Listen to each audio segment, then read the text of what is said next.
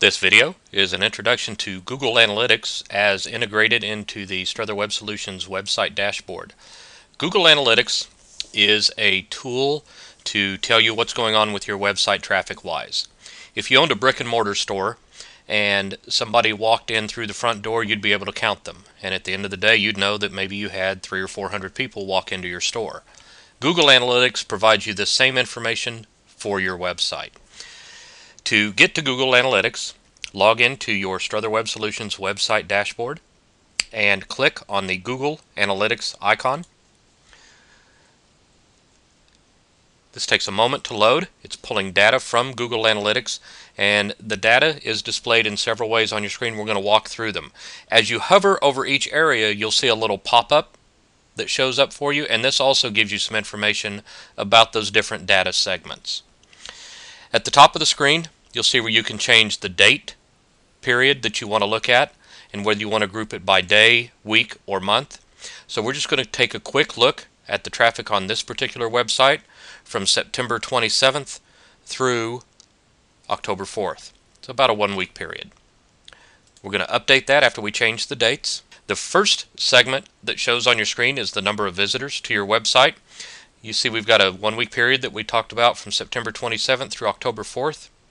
And on, uh, let's say, September 28th, it looks like we had almost 40 visitors. On September 29th, 50. Uh, peak traffic during that week was on October 1st, a Saturday, at 70 visitors. And the peak traffic on October 4th uh, which uh, for reference that would be yesterday when this video was recorded on October 5th so on October 4th um, you can see that we had uh, close to 60 visitors. Uh, one thing to keep in mind is that data reported in the Google Analytics interface is about 24 hours behind. So we're viewing this on October 5th 2011 but the traffic we're seeing is all from October 4th if we come back tomorrow we'll be able to see today's traffic. If we scroll down a little bit, we get some more information. Uh, the pie chart on the left shows our traffic based on where they came from. 69% of the traffic on this website came from a search engine such as Google or Bing. 26% of the traffic was direct traffic, which means that a user entered the domain right into their browser and came straight to it and 5% of the traffic was referral traffic, which means that the visitor came from a link on another website. Next to that, we see the global stats.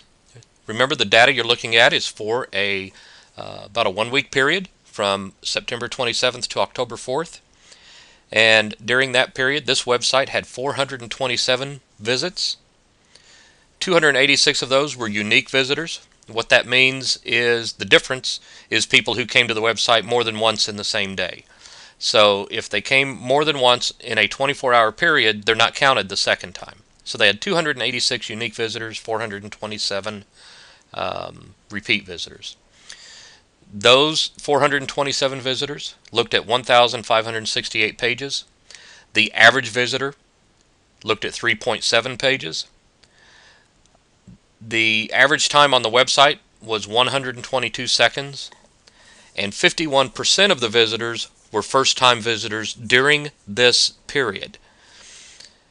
The bounce rate, 39.8%, is a very good bounce rate for any website. Your goal is to have a 50% bounce rate. When you have a, a nearly a 40% bounce rate, this is pretty exceptional. What bounce rate means to you is did the customer look at more than one page? Uh, most customers, or most visitors, I should say, will look at your homepage. They'll go to your website, and of course, they'll land on your homepage.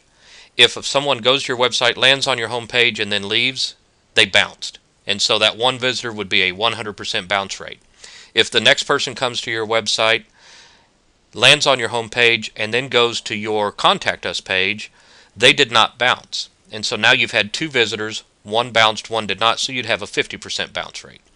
Uh, when you have a 40% bounce rate like this website does, you are doing very well. Pages on your website that are viewed the most, uh, this shows you pages and gives you uh, information about what people are looking at on your website. This top one is usually going to be the most viewed. It's just got a single slash there, and that tells you that's the home page. There were 522 views of that home page. 33% of the people who came to the website viewed that homepage, and the average person stayed on that web on that page for about 30 seconds. These times in average time on page are in seconds. Uh, this shows you that they went to the there's a birthday parties page, there's a current hours page, and show, shows these pages listed in the order in which they were most popular. Most popular at the top, least popular at the bottom. Um, so, for instance, the snow days page had 21 visitors. 1.3% uh, of the visitors looked at that page, and the average person stayed on that page for just a little over a full minute. Remember, that's the average person stayed on that page. You may have people that stayed there for three or four minutes, and other people who stayed there for 15 seconds.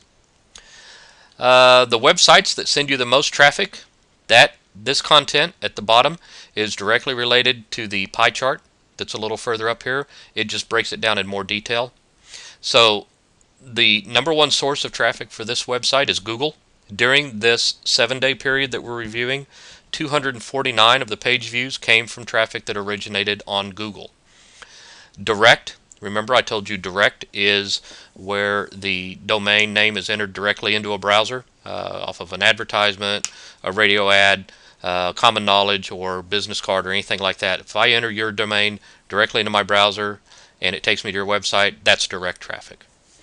Uh, other search engines such as Bing and Yahoo uh, Google.com, if you look over here, gives you a little more information. Tells you it's from his Google Places listing. Google Places is a free listing uh, to help uh, publicize your website on Google.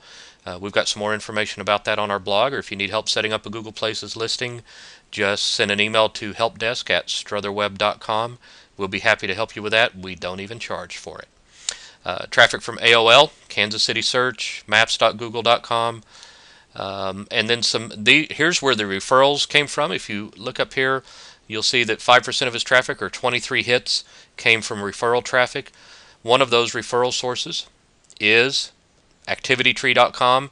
There's obviously a reference to this customer on ActivityTree.com, KCKidsFund.com, uh, Local.com. These are all referral sites, and that's where those 23 hits came from. This is the basic introduction to Google Analytics from the uh, Strother Web Solutions website dashboard. For more in-depth information, please take a look at our blog and read the tutorials in the knowledge base. You can get to the knowledge base by clicking on self-help and you can get to our blog by clicking on SWS blog.